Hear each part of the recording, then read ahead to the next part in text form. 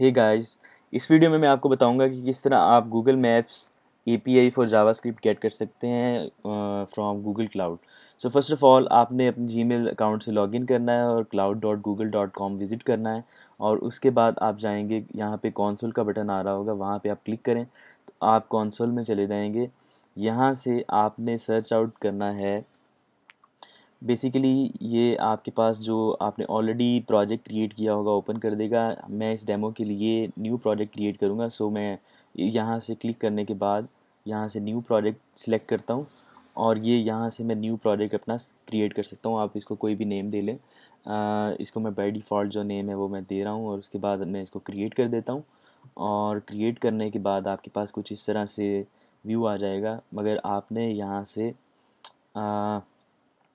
आपने यहाँ से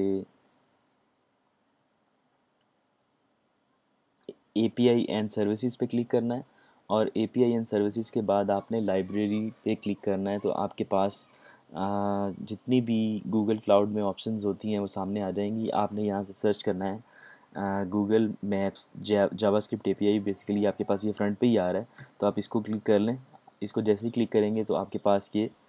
आ, आ जाएगा। यहाँ से हमने वो वाला प्रोजेक्ट सेलेक्ट करना है, जिस, जो हमने अभी क्रिएट किया था। तो प्रोजेक्ट जैसे क्रिएट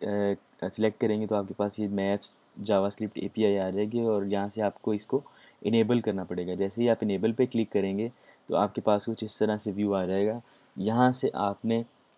ये जस्ट अभी अभी ए पी आई इनेबल हुई है, मगर आपने अभी ए पी आई की गेट नहीं की। तो यहाँ से आपने लेफ़्ट साइड पे ए पी आई सेलेक्ट होना चाहिए और राइट साइड पे जो एरिया है, वहाँ से क्रीडेंशल्स सिलेक्ट करेंगे और क्रीडेंशल्स में से क्रिएट क्रीडेंशियल और यहाँ से एपीआई की का ऑप्शन सेलेक्ट करेंगे तो आपके पास ये एपीआई की क्रिएट हो जाएगी।